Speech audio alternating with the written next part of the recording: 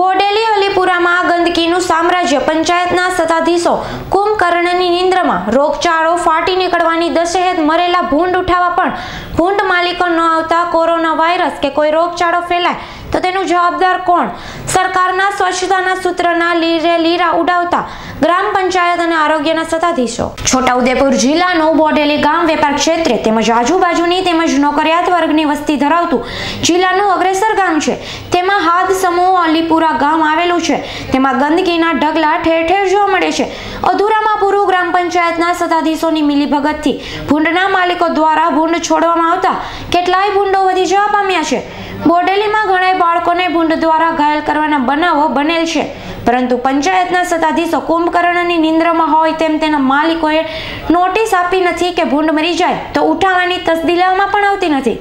અલીપુરા વિસ્તારમાં ઠેર ઠેર ગંદકીના ઢગલા જોવા મળી રહ્યા છે. અલીપુરના રહીશો વારંવાર ગ્રામ પંચાયતમાં રજૂઆત કરીને થાકી ગયા છે.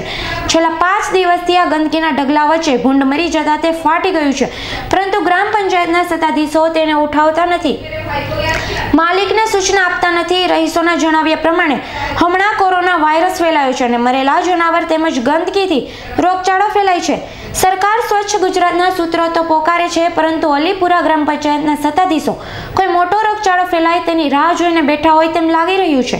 તેવી લોકચર્ચા લોકોના મુખે સાંભળવા તેમજ ગ્રામ પંચાયતના સત્તાધીશો સામે રોષ જોવા મળી રહ્યો છે. હવે આ પાછળ અમારે અલીપુરા પંચાયતને અમે કાયમ માટે કઈ કઈ થાય છે કે ભૂંડોનો ત્રાસ છે, તમે નિકાલ કરો.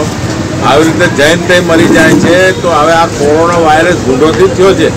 હવે અમારા ફરિયામાં એક ભૂંડ એવી જગ્યા પર મળી મરી ગયું છે કે જૈન પબ્લિકનો ધસારો છે. ત્યાં મરી ગયું છે.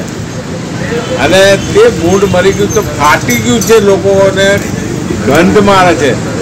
ટુકડા થઈ ગયા તો હજુ આ એ લોકો આવીને કોઈ એને કોઈ એને હટાવવાની તૈયારી નથી પંચાયત બતાવતી. તો પંચાયતને પૂછો કે કોણે વસાવ્યા છે બોર્ડ? અને કોણ લાવ્યું છે આ ગામમાં બોર્ડ? એની ઊંડી તપાસ પંચાયત કરે કે આપણા ગામમાં કઈ છે એવા બોર્ડ. શું નામ તમારું? મારું નામ સુલતાનજી ટ્રાન્સપોર્ટવાળા. અલારખા પઠાણનો રિપોર્ટ છોટાઉદેપુર.